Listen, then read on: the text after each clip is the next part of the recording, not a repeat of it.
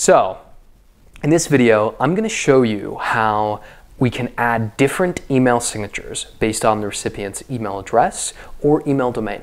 So maybe something like add this different email signature if one of the recipients is Brad Shepard at greenorg.net, or if any of the recipients has at exclaimer.com in their email address. So for example, in this case, they have a different email signature they need to use on certain government emails. So they might say that, right, if any of the recipients' email addresses end in atgov.cls,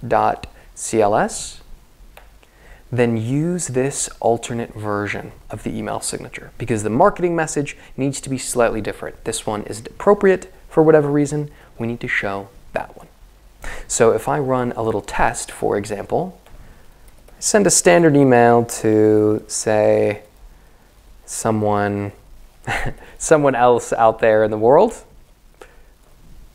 it will show the typical email signature. Fine. But that special government one will apply if the recipient's email domain has that special government address that I specified. Perfect. But you could do other things with this. For example, these guys have this email signature most people are supposed to see. It's supposed to go on external emails. Now they could go in and say only apply this email on external emails um, or internal. But unfortunately, this uh, Office 365 tenancy would also be true if it was a G Suite tenancy. This is split up into multiple business units. So technically the Affinity brand here, it's like its own company. Different marketing team, different set of employees. From the perspective of these guys, it's like they're external. So they actually want to show the external email on emails to them. So we can't just use internal. What we could do instead is say, look, add this signature on an email to any recipient, except where it's their own domain at greenorg.net.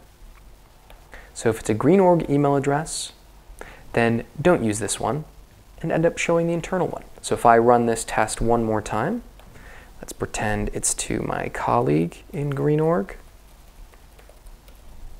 We will see, look, it showed me the internal version. But even if I send that email to someone else that is in the Affinity company, it will, even though they're inside my organization, it will still show them that nice external version. And there are lots of other approaches, lots of other ways you can take this on, but that essentially is the point of it.